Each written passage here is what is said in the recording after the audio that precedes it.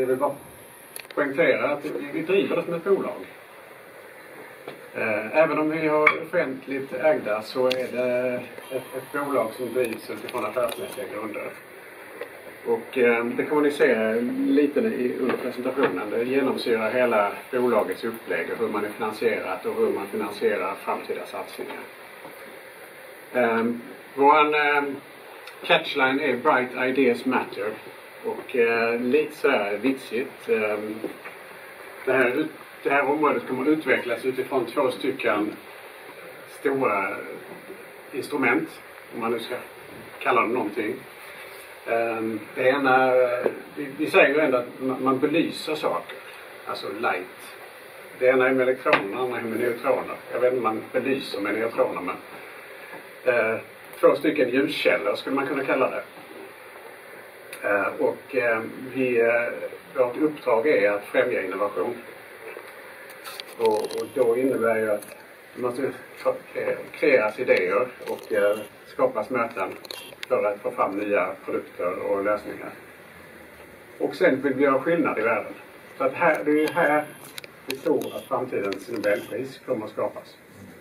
Det är den här miljön vi vill skapa. Det är den ambitionsnivån som finns i den här satsningen. Eh, snabbt om mig. Eh, jag kommer från näringslivet. Har nog jobbat i näringslivet hela mitt liv. Eh, men inte så jättemånga arbetsplatser. Eh, jobbade eh, rätt många år inom NCC med, med både verksamhetsutveckling, processorientering och eh, men även eh, fastighetsutveckling. För att sedan eh, bli rekryterad till ett samhällsbyggnadsbolag som heter Tyrens.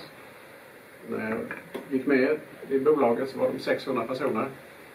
När jag slutade var det 3000 så det var en ganska stor tillväxtresa där vi eh, gick från att vara en teknikkonsult till att bli en samhällsbyggnadskonsult. Vi, ville ha på kompetens och kunskaper om vilka delar som behöver hanteras för att vi ska kunna utveckla samhället. Och sedan, sedan tre år så har jag varit VD för Science Village Scandinavia. Ganska annorlunda uppgift. Kanske inte storbolag så som jag har varit i tidigare utan eh, nu pratar vi snarare om eh, att, att verka och eh, prestera någonting som handlar om att sammanföra olika aktörer snarare än att bygga upp stort. Så vår uppgift är mycket om att stödja utvecklingen av ett ekosystem. Sen har jag hela tiden, kommer jag, kommer jag förmodligen ha tills jag går bort, eh, engagemang utanför och jag tycker det är viktigt för att då får man, har man känselspröt och vad som händer i andra, andra delar. Eh, och, eh, det var en snabb. Eh, sen kommer ni se lite exempel var jag hämtar mina erfarenheter från så, så kommer det en del från USA. Av förklarliga skäl. Ehm, där finns det goda exempel men, men också eh, ska man inte liksom fastna vid att det är så man ska göra utan man ska ta värderingarna och beteendena i bra, bra eh, miljöer och sen ska vi försöka anamma det på ett lundande manér. Jag tror det är viktigt att man ska ha kvar själen. Det som har hänt eh, baserat på att ESS och Max 4 etablerats i Lund är ju att det är den här världsbilden som har uppstått eh, när det gäller materialforskning. Det vill säga att vi är inte en del i Sverige. Vi är inte en del i Skandinavien. Vi blir en, liksom, eh, kanske till och med ett fokusområde i Europa för resten av världen det blir en sån koncentration kring materialforskning och life science här som gör att vi, vi konkurrerar inte med andra placeringar i Europa utan vi, vi konkurrerar med de absolut bästa placeringarna i världen. Man ska bara ha med sig detta. Eh, dagens materialklusterkoncentration eh, ligger idag i Frankrike, i Grenoble och. Eh, det håller på att flyttas princip alla som har hållit på med neutronforskning på ledande nivå är på väg upp till Lund från Grenoble. Så att vi har en stor förändring i Europa och där, där Lund blir lite av ett nav kring materialforskning. Och det är, det är en ganska stor fråga. Så att vi ska inte fastna vid den här bilden allt för mycket när vi tittar på vad är det för potential. Jo, att vi tittar på att Lund är ett nav som har utvecklats med innovation och kunskap under lång tid. Med universitetet, med eh, företagsetablering, eh, eh, forskningsparker. Men det här är liksom epicenter för en större satsning i Europa. Det är bara den vi ska ha med oss när vi funderar på vad det är som händer tack vare den här anläggningen. Och det är så vi tänker i Science Village. Vi tänker oss att vi inte är en, en lokal spelare, vi är inte ens en nationell spelare, ehm, utan vi ska se till att, att knyta ihop noder. Vi har redan en Neon forskningspark som är ganska stark. och kan den ännu starkare. Istället för att vara en konkurrent så säger vi att ja, men det är en del av helheten. Eh, vilket gör att det finns väldigt stor potential att utveckla Ideon Science Park ytterligare med en sån här satsning. Så sammanfattning vad vårt ägardirektiv är. Och jag vill då påstå, eh, informera om att våra ägare är minoritetsägarna Lunds kommun, Region Skåne och Lunds universitet. Så att vi har en, en konstellation som är lite unik. Vilket gör att vi också driver frågor som respektive av våra ägare inte kan driva var för sig. Utan vi kan, vi kan samla den kunskapen och driva de frågorna i bolaget. Med vårt ägardirektiv poängterar att vi ska exploatera och utveckla. Självklart ska vi jobba med fastigheterna. Men det är sekundärt i sammanhanget. För vi ska stödja utvecklingen av Max 4 SS och skapa nya mötesplatser. För att attrahera både företag och nya konstellationer när det gäller institut och offentliga organisationer. Vi ska bidra till att eh, stödja utvecklingen av den här öppna innovationsarenan vi pratar om. Jag pratar om innovation, jag kommer att prata mycket om innovation. Forskningen kommer att uppstå av sig själv med de här anläggningarna. Men den företagsnära forskningen och innovationen, den som kommer till marknaden, måste accelereras för att det här ska bli en stor, stor avkastning för den här regionen. Mm. Och sen har vi för ambition att bygga ett science center av världsrang också i Science Village, i Lund, i Skåne, i Sverige. Som på något sätt kan förtydliga vad det är som, som vi sysslar med i den här kontexten. Det vill säga, hur jobbar vi med utmaningar? Hur, hur ser kunskapen till de här utmaningarna som vi har i samhället? Också kunna förmedla vad, vad, är det för, vad har man för nytta av sådana här experimentanläggningar ehm, um, som ESS och Max 4 ändå är. Så vår vision är ett, ett ekosystem i norra Europa vi skulle kunna sagt Europa. Vi, men någonstans vill man vara lite ödmjuk som svensk och säga norra Europa. Här ser vi ganska stora konstellationer som skulle kunna samarbeta väldigt tajt. Vi har eh, uppöppnandet mot, mot Hamburg och den sortens eh, miljöer där vi redan idag har ett bra samarbete med, eh, med DC och andra anläggningar eh, i norra Tyskland. Men mycket kommer kretsa kring mötesplats för vår del. För möten krävs för att saker och ting ska uppstå. Um, både i kunskap men också bland människor. Så en stor utmaning för oss är att två människor som vanligtvis inte träffas att träffas. Ehm, och vi har som mission att, att stödja den här utvecklingen. Det vill säga att vi har inte för ambition att styra en utveckling. Ganska stor skillnad i de två orden. Styra och stödja. En som stödjer tar inte åt sig alla ära och vill ha kontroll över allting. Den se till att andra träffas. Och se till att andra och dra framgångarna framåt. Det är vår utgångspunkt i allt vi gör. Vi är inte här för att på något sätt styra en utveckling. Vi är här för att stödja utvecklingen. Och, och det innebär att vi kommer att jobba med många partners. Och alla som vi samarbetar med kommer att tolkas som partners lika viktiga för utvecklingen som vi själva. Det är en viktig aspekt i hur vi ser på utvecklingen. Um, men vi tror att det behövs en beteendeförändring för att det här ska bli riktigt framgångsrikt. vi har pratat mycket om att vi behöver förändra kulturen något eh, i det här ekosystemet som finns redan. Vi behöver öppna upp samtalet öppna upp delningen av kunskap på ett annat sätt än vad vi gör idag. Vi behöver öka samarbetet över de här silusen som idag finns för olika aktörer. Vi måste hitta bättre plattformar för det samarbetet. Det finns ett antal men vi, vi, vi har väldigt långt att gå fortfarande för att vi ska kunna bli ett världsledande ekosystem. Och sen så måste vi börja visa, våga visa upp vad det är vi presterar. Vi är riktigt dåliga på att visa upp och ta för oss. Vi är duktiga. Men vi har liksom en inställning om att ja men det vet väl alla andra också att vi är duktiga. Vi behöver vara bättre på att få ut detta budskapet, hur duktiga vi är. Och det tror jag är en, en del i den här resan.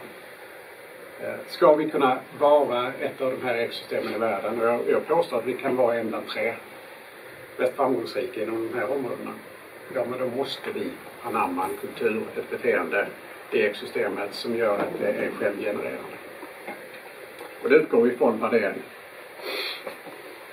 Mm, så sammanfattningsvis så är det stödja och berika utvecklingen av ett kunskapssystem som är våra, vår huvuduppgift. Och den övergripande aktiviteten är egentligen att utveckla och driva därmed förändrad verksamhet och aktiviteter. Jag skulle vilja säga funktioner också. För ett ekosystem finns det behov av vissa funktioner som är helt avgörande för utvecklingen. Det kan vara allt ifrån att det är ett samarbetskluster eh, till att det är en fysisk angelägenhet alltså, som en ny mötesplats i form av en, av en eventhall som byggs. Tänka lite större, tänka lite bredare.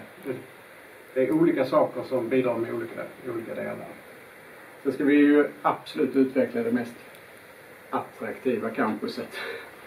Eh, men det är egentligen sekundärt. Det är bara för att påskynda den här kulturresan som vi pratar om. Detta campuset kan vara också en trigger till att få igång det som sedan sprider sig som ringar på Och så har vi en väldigt tydlig uppgift från våra ägare, det är att utveckla och driva ett science Det här som vanligtvis inte uppstår i den här sortens ekosystem som förklarar vad som egentligen händer här. Vi har exempel i Silicon Valley där det egentligen har uppstått mer av, av, av olika eldsjälar i olika områden. Men för att stödja den här så kan vi i tidigt skede redan nu börja med en sån satsning. För då kommer vi också få till en mötesplats på ett annat, med, med en annan ingångsvinkel. Jag får en fråga i sammanhanget. Ja. Det du har nämnt nu precis att Lund som akademisk ort och med den verksamhet som har pågått här i 40 år och ännu längre i universitetsvärlden. Där har man ju snackat om det här science centret i 30 år det har blivit hänger det samman med ägarstrukturen kring det här som verkar minst sagt lite trögt alltså. Det är ju att den faller inte väl i någon famn. Om jag nu ska liksom eh, försöka göra min förklaring på det. Um, ingen vill egentligen ta ledartröjan det är konstigt. Det är jättekonstigt. Men det är offentliga pengar vi pratar om och i slutändan så prioriterar då man huvuduppgifterna. Då kommer den här alltid sidan om. Så det vi har gjort i det här upplägget som vi har föreslagit är att vi har sagt att här, den här bedrivs utifrån förutsättningar som finns idag. Det är ett självfinansierande science center. Eh, vi måste driva den utifrån att vi har ett samarbete med näringslivet. Ja, vi har det ju nu. Vi har det nu. Ja. Så att vi har alla förutsättningar för att driva igenom denna gången. Däremot så är det ju så att man blandar och ger hur man funderar på hur pengar ska användas. Men vi har ju lagt fram ett förslag som inte ska skapa behov av bidrag och anslag av någon större rang. Då har jag bara en fråga till. Det här centret, ska det bara spegla det som sker uppe på Brunnsöga och kring de här anläggningarna? Eller vetenskap i vid mening? Vetenskap i vid mening. Okej. Okay. Um, tror jag i alla fall tanken. Mm.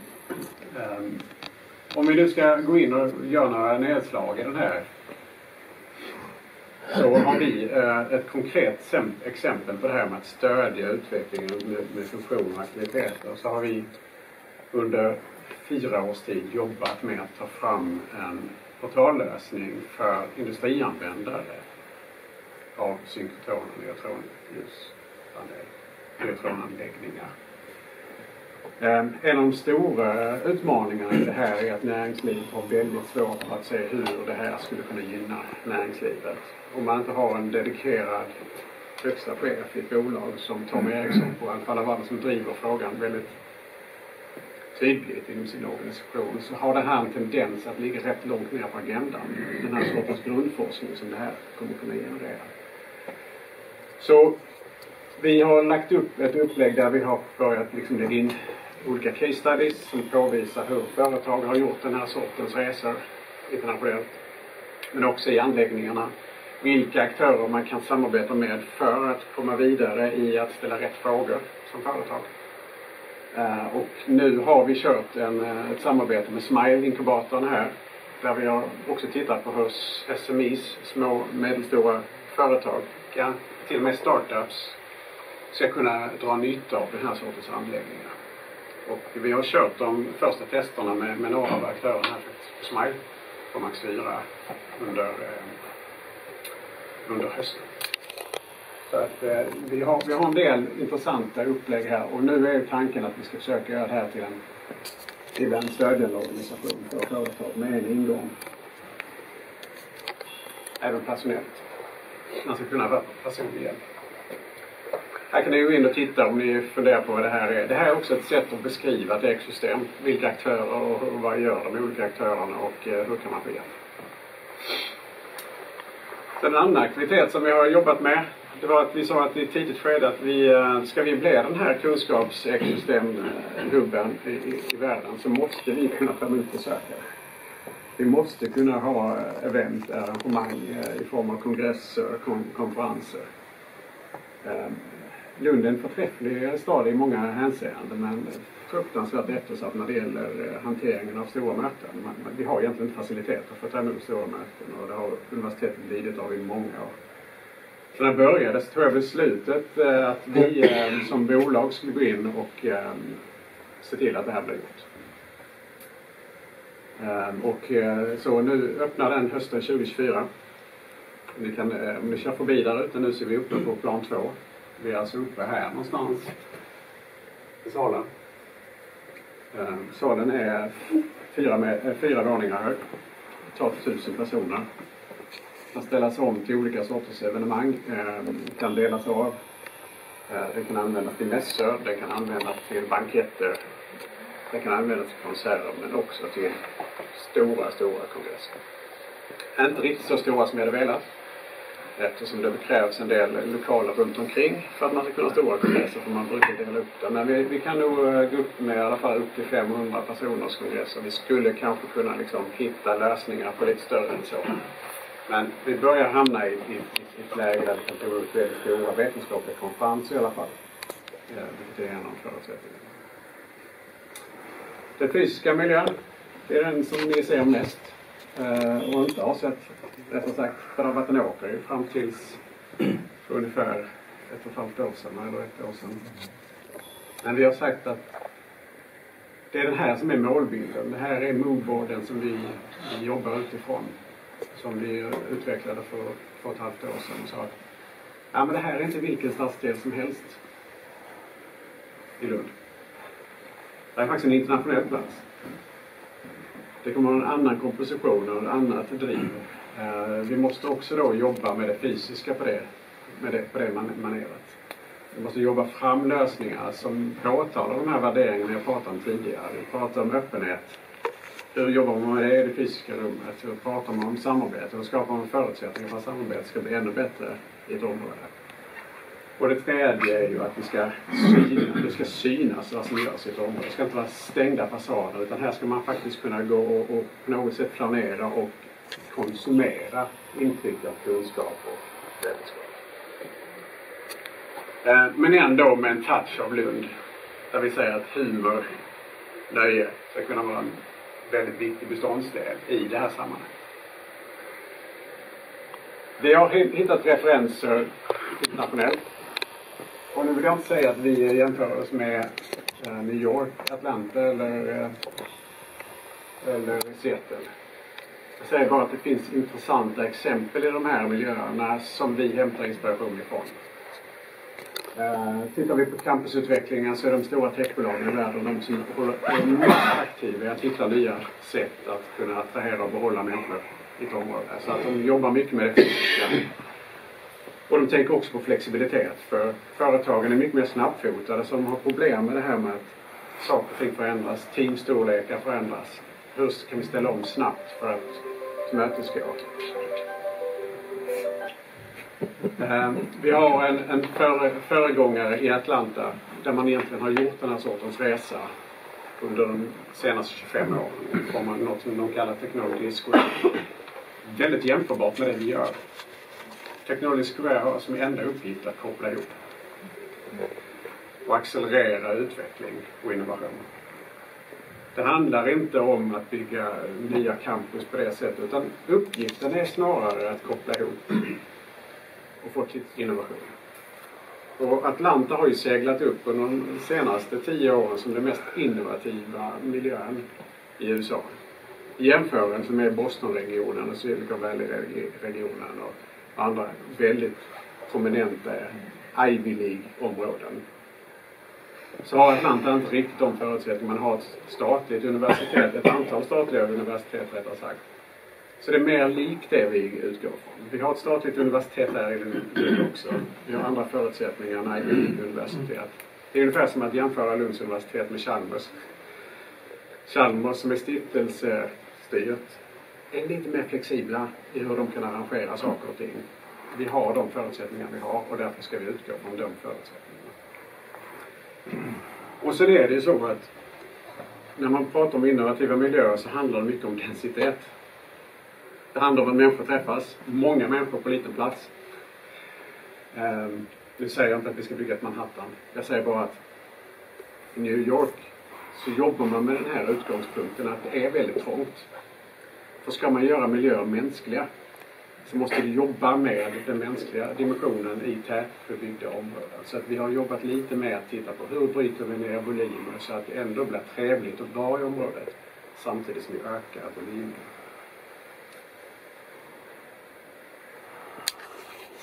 Så vi har jobbat med principer. Jobbat med det här med att liksom söka sektionera byggnaderna i området. Vi har sagt att ska man ha ett område som lever så måste det vara öppet. Det ska kännas publikt och mottagligt. Du som besökare ska inte känna dig utstängd. Vanligtvis är byggnader utstängande. Det är bara att gå in här i Medicon Village så är det här den enda publika fastigheten och Inspira. De andra är ganska stängda fastigheter ut mot miljön. Så när du kommer in här så får du ingen campuskänsla på det sättet. Det är liksom rörelse och liv. Ehm, det andra är att försöka istället så som har varit en trend ganska länge att man har mötesfaciliteterna på första plan. Lyft det. Så att inte det blir liksom en, en, en bestående intryck av området att sitta massa människor i möten. Utan där, där kan man ta innovationer eller samarbeten till nästa nivå. Och sedan att man ändå ska kunna vara en, en privat och, och väldigt ex, eh, stängd verksamhet längre upp beroende på IP och annat. Eh, så att man inte tänker bort det. Att, att öppenhet handlar inte om att man ska ha affärshemligheter. Öppenhet handlar bara om att man är mottaglig för impulser. En fråga till. Yes. Är det tänkt att ni också ska tillhandahålla ett system som för inventions till innovation? Jag misstänker att de här anläggningarna som vi i princip baseras på producerar inventions, nämligen vetenskapliga upptäckter. Ja. Det är långt ifrån en innovation. Exakt. Det, om jag vet, vet inte om ni noterade i vår vision, eller i missionen rättare sagt. Det står att vi ska skapa ett ekosystem som kan dra nytta av upptäckterna, resultaten från användningen. Mm. Det innebär inte att man kanske direkt gör tester. Vi ska skapa miljöer som, gör, som är mottagliga för att göra det du säger, idéerna eller upptäckterna till innovation. Det innebär att vi måste skapa kluster som på något sätt har tillräcklig höjd för att kunna ta emot det. Så det är en av våra uppgifter att se till att det blir rätt sorts innehåll i området med rätt sorts höjd. Så vi är väldigt inriktade på forskning och innovation när vi pratar näringsliv. Det måste vara den sortens aktörer som kommer dit. Och det måste vara en hög koncentration av forskningsinnovation. Nästan uteslutande forskning och innovation i hela området. Då skapar vi tillräcklig massa för att det här blir självspelande i det, denna spel. Så här jobbar vi utifrån en masterplan. Det händer fantastiskt mycket grejer, roliga grejer i området. En platt ritning säger inte så mycket om vad det är som ska byggas. Ehm, vi har gjort en sån här bara för att man ska förstå. Ehm, vi jobbar utifrån en, en, en yta som är 18 hektar. Här har vi ambitionen att få 18, eller 400 000 kvadratmeter byggnader. Anledningen varför vi bygger på höjden är inte bara för densitet, att vi ska få in mycket människor på. Det handlar också om att få in rätt funktioner i ett område. Det höga huset gör vi inte för att det ska vara högt. Det, det är inte ambitionen. Vi, ett högt hus där har en, en viss anledning. Vi ligger bredvid den här stora eventsalen. Den tar tusen personer. Vi behöver få in ett hotell. Men vi vill inte att hotellet ska ta en massa yta. För då tar vi bort massa yta från de andra delarna vi måste få in i området. Så då har vi sagt att det bästa är då att lägga hotellet ovanpå labb och kontorslokaler. Och därför går vi på höjden. Just bredvid den här faciliteten. För ett hotell, konferens och en kongresssal är ju det som behövs för att få ihop helheten när det gäller möten. Här ute Men platta tak verkar vara väldigt eh, populärt. mm. Är det vackert? är det Lund? Ja, detta är inte Lund. Men det är en helt annan stad. Det är en helt annan stad. Det är, det, det är egentligen det som Placebrandingen säger. Det här är en internationell plats. Det är inte Lund. Ja. Så att vi, eh, men platta tak det är väl eh, bara en illustration. Ja. Ehm, De behöver inte vara platta. Däremot så eh, har vi två fastigheter som byggs nu, som ni ser. Den ena är inflyttning i september, Space. Där kommer Oakley lägga sin forsknings och innovationsenhet som första hyresgäst. De kommer också bygga en pilotanläggning för, för produktion i bottenplan, uppglasad så att eh, folk ser vad de håller på med. Man skulle kunna gå förbi och planera så står det någon med en säl, nej nu, eh, kanske bara för att få upp en bild i huvudet, eh, gör en testbadge av någon produkt. Den här sortens publika eh, nåbarhet, det är någonting vi vill jobba med generellt. Och sen hösten 2024 så är det loop klart. Och i den så finns det både då coworking, mötesfaciliteter men också den stora eventhallen och ytterligare 10 000 kvadratmeter kontorlabb. Så att det, vi jobbar, nu har vi 20 000 under utveckling just nu. Men det är mycket mer på gång. Så den här är färdig i september. Då öppnar den. Den ser nästan så ut redan när ni åker ut där. De håller på med interiören nu. Ehm, och ehm, vi tror att det, det här blir väldigt, väldigt bra. Och nu börjar vi bebygga spårvagnsområdet för att sedan kunna växa utifrån det. Så att ganska snart, 2026, tror vi kommer spårvagnshållplatsen vara helt kringbyggd. Så området där kommer kännas färdigt. Fråga, hur många hotellrum tror du behövs där uppe och hur många eh, konferensdeltagare kommer det vara i en, en sån anläggning när den är på plats tror du? För att täcka det här området. Jag tänker lite grann på, vi har ju några eh, gamla tingsrätter. Ligger den helt fel för det som nu inte blir framtidens Lund?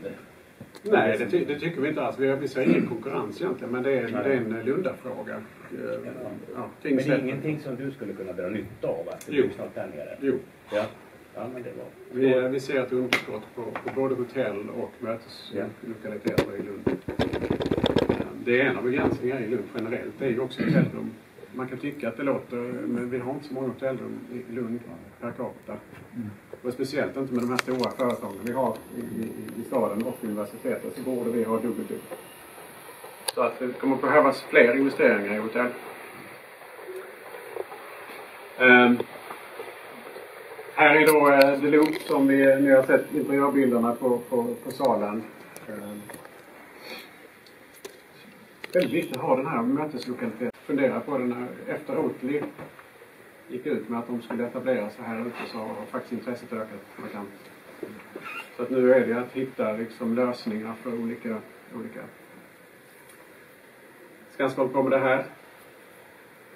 Eh, man har ganska långtgångna diskussioner i, i, eh, med hyresgäster här och eh, förmodligen så kommer vi höra någonting kanske i slutet av året kring en, en, en ny aktör i området. Nanollab, nytt Science Center. Tankarna är, vi håller på med eh, programprojekteringen av det här för att det här ska liksom få in rätt kapaciteter i det. Sen har vi den här stora grejen.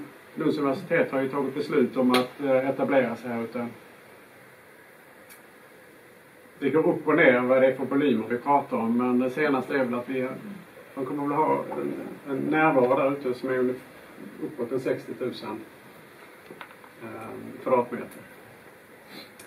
Det är en visionsbild på området.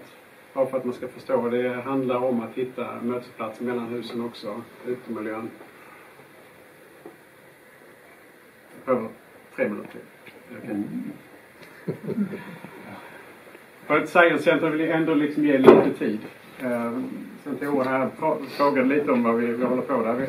Det, det är rätt som Tore säger att det har pratats om detta i 30 år säkerligen i Lund. Mm. Och jag, vi har inte fått ända nu. Nej. Um, men, jag tror det, det hänger på, inte ditt ledarskap utan det, det hänger på hur det, styrelsen ser ut. Ja. ja men vi, eh, vi kommer nog lösa det här. Jag känner mig förhoppningsfull inför detta. Men det handlar ju om att vi engagerar barn, unga och vuxna i tidig ålder för vetenskap. Och initialt så pratar vi om naturvetenskap och teknik. Uh, och i en berikande mötesplats som öppnar upp och delar kunskap. Och bidrar till en hållbar värld. Det låter som stora ord, men det handlar egentligen om att sy ihop och kunna förklara vetenskap på ett begripligt sätt för nya generationer. Men även för befintliga. Så vi pratar om det eviga lärandet. Det handlar om att kunna göra det på ett lekfullt sätt. Att kunna uppleva det väldigt taktilt. Ett science center hjälper ju att förklara saker genom en annan pedagogik. Så här kommer vi jobba med att det vattenhallen som finns idag kommer på något sätt förflyttas. Den kunskapen som vi har byggt upp på vattenhallen, Science Center, kommer röra sig upp här och den, vi kommer fortsätta den resan men på en liten annan nivå. Mm. Uh, så här. Den optimerade människan. Du, du har en fråga där. Uh, vi tror att det här är samhällsutmaningar vi måste jobba med och förklara. Och det är därför vi, de här temautställningarna har vaskats fram. Den optimerade människan är att titta på människan ur ett mer positivt perspektiv än att prata om alla misärer vi har när det gäller cancer och andra sjukdomar. Att lyfta det till en mer positiv anläggning. Eh, så utifrån det så har vi jobbat med, med att titta på det både utifrån ett medicinskt perspektiv men också ett mekaniskt och ett digitalt. Att bryta det lite annorlunda. Jag tackar för det.